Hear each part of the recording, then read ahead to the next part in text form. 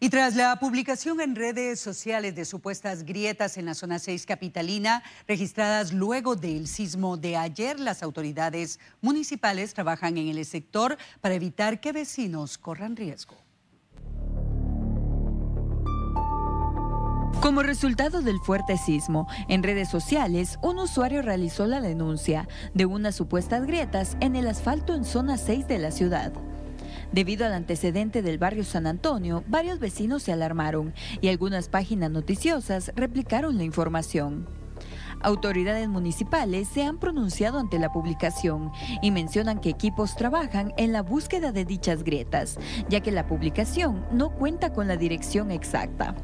Y desde primera hora de la mañana, eh, siguiendo el protocolo que hay para este tipo de cosas, se empezó un trabajo de monitoreo a través de los equipos de campo. Todavía no se ha eh, localizado eh, el lugar exacto, ni hemos encontrado una deficiencia en este momento que llame nuestra atención.